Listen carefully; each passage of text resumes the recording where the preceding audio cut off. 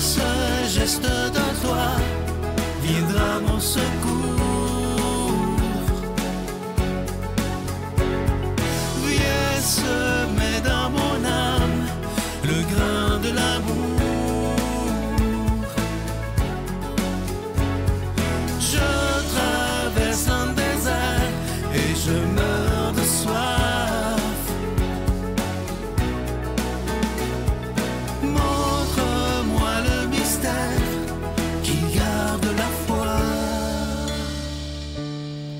Jeudi 12 mai 2022. Bienvenue à votre émission La victoire de l'amour. J'espère que vous allez bien chez vous.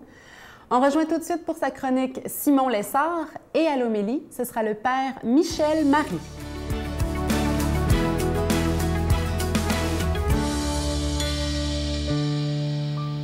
Bonjour tout le monde. Alors, on continue euh, toute cette série de chroniques euh, sur les sacrements, hein, ces sept signes de l'amour de Dieu pour nous. Et aujourd'hui, je commence avec le tout premier euh, sacrement, le sacrement de baptême. Baptême, baptizein, en grec, ça veut dire plonger, hein, comme un plongeon euh, dans l'eau.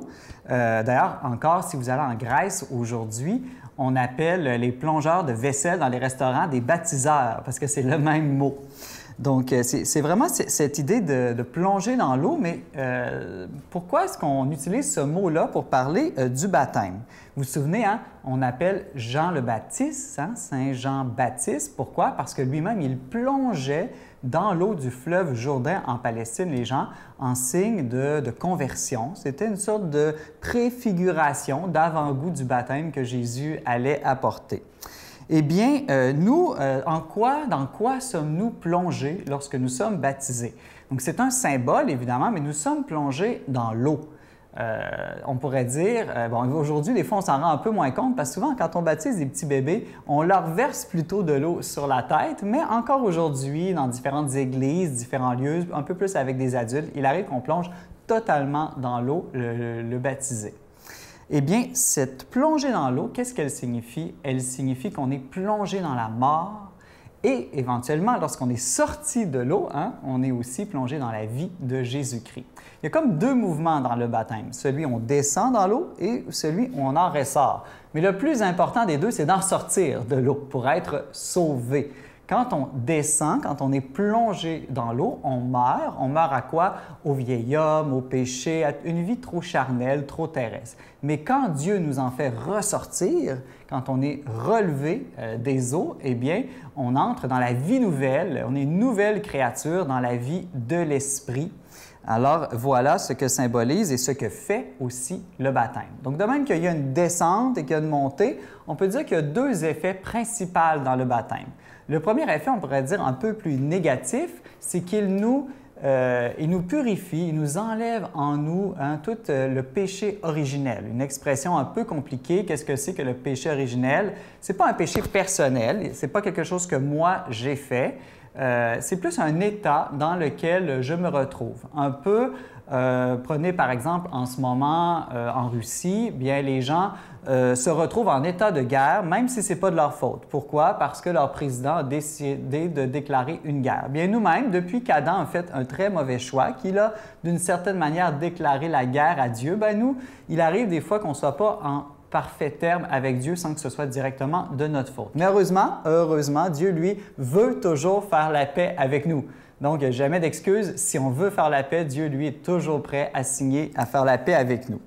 Et l'autre aspect plus positif du baptême, qui est, rep- qui est davantage représenté par la sortie de l'eau, c'est qu'on devient enfant de Dieu, fils et fille de Dieu. C'est ça, cette vie nouvelle. Nous sommes plus seulement des êtres humains, on est plongé dans le mystère de Dieu. Et voilà ce qu'il y a vraiment de plus beau et de plus grand dans le baptême. N'oubliez jamais que vous êtes des fils et des filles de Dieu.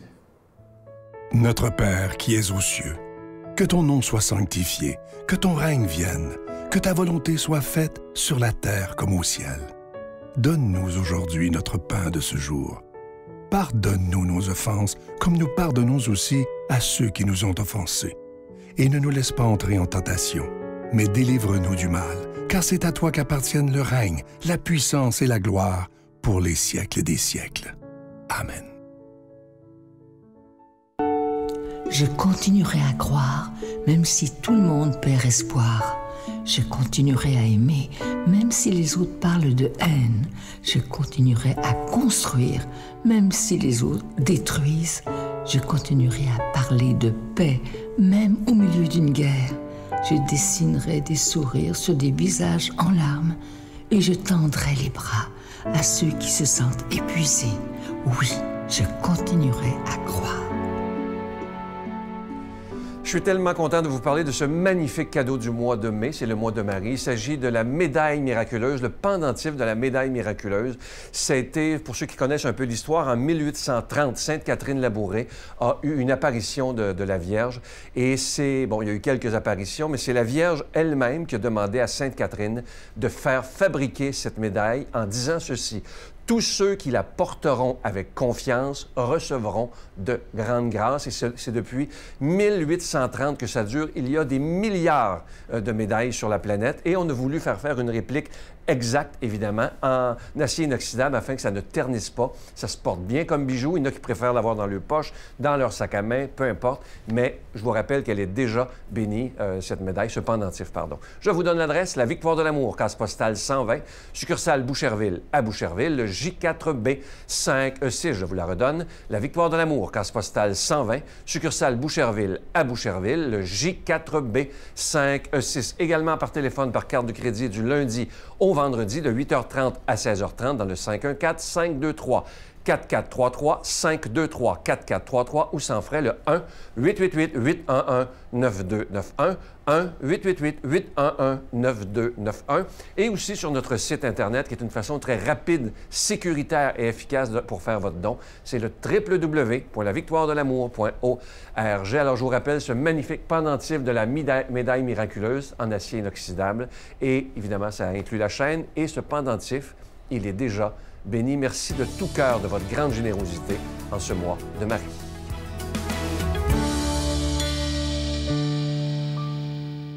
Mon Dieu, donnez-moi la sérénité d'accepter les choses que je ne peux changer, le courage de changer les choses que je peux et la sagesse d'en connaître la différence.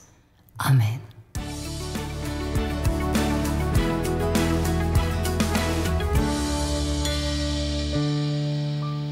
Heureux de vous retrouver, amis que j'aime, et de partager avec vous un passage de l'Évangile de Jésus-Christ selon Saint Jean. Après avoir lavé les pieds de ses disciples, Jésus parla ainsi. Amen, je vous le dis, un serviteur n'est pas plus grand que son maître, ni un envoyé plus grand que celui qui l'envoie. Sachant cela, heureux êtes-vous si vous le faites. Ce n'est pas de vous tous que je parle. Moi, je sais quels sont ceux que j'ai choisis, mais il faut que s'accomplisse l'Écriture. Celui qui mange le pain avec moi m'a frappé du talon. Je vous dis ces choses dès maintenant, avant qu'elles n'arrivent.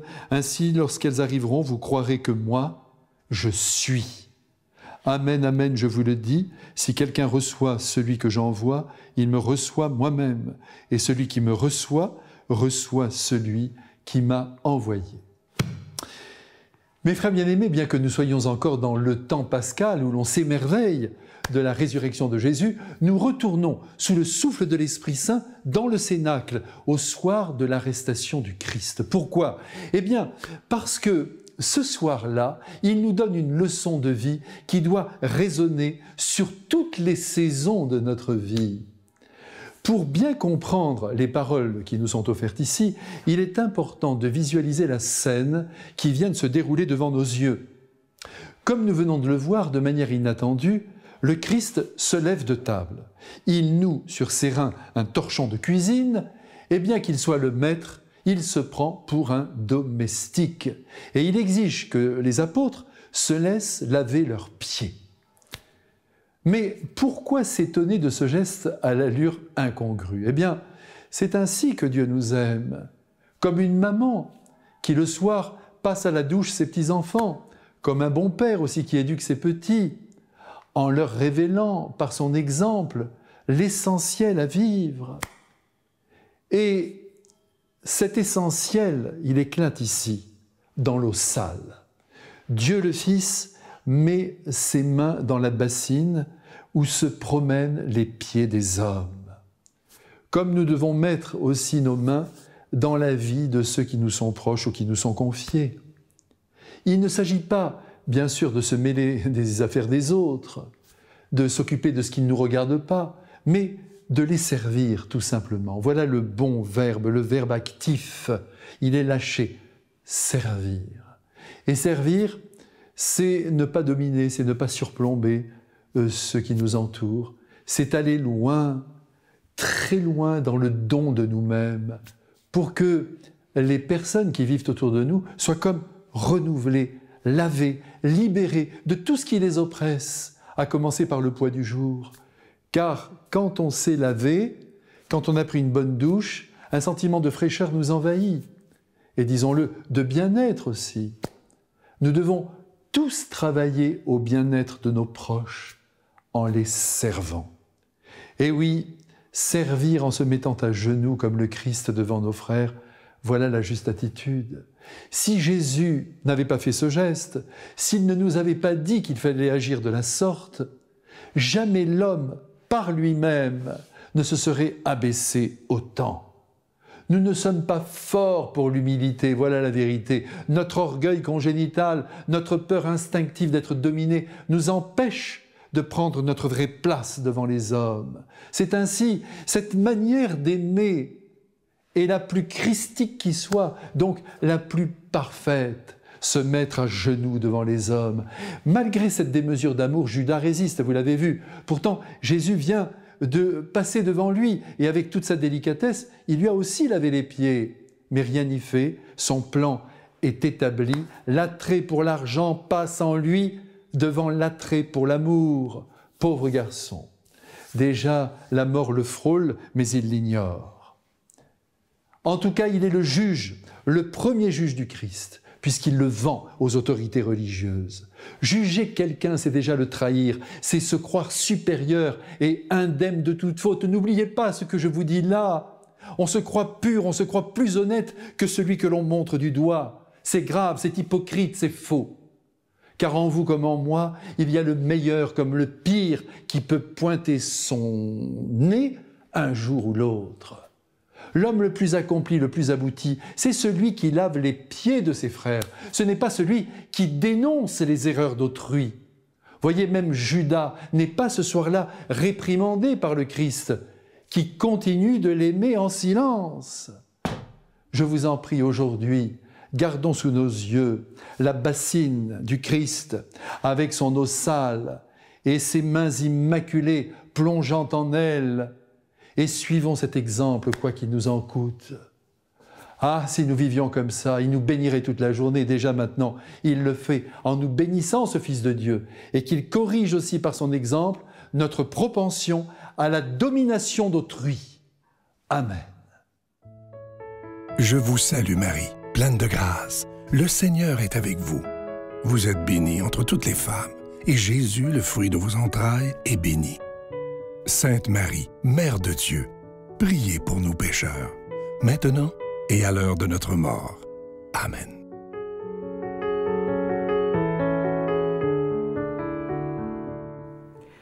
En ce beau mois de Marie, je vous encourage à vous procurer le cadeau du mois, la médaille miraculeuse, mais je vous encourage aussi à déposer dans le cœur de Marie toutes vos intentions, tout ce qui vous tout ce qui vous dérange, tout ce que vous portez comme difficulté, comme souci, votre santé, la santé de vos proches, toutes les situations compliquées. Déposons ça dans le cœur de Marie. Elle, quand elle accueille dans son être, ça devient l'amour, ça devient Jésus, ça devient Dieu. Donc déposons tout ça pour que l'amour de Dieu advienne dans nos cœurs. Bonne journée. J'ai mangé avec Dalida, mais personnellement avec Dalida, pas, pas, dans un cocktail. Euh, j'ai été, j'ai mis la plus belle vie au monde. Mais cette belle vie, cette super belle vie, n'a été rien à comparer de ce que j'ai vécu depuis 28 ans. Bienvenue dans la famille, à l'oiseau tombé du nid. Bienvenue garçons et filles.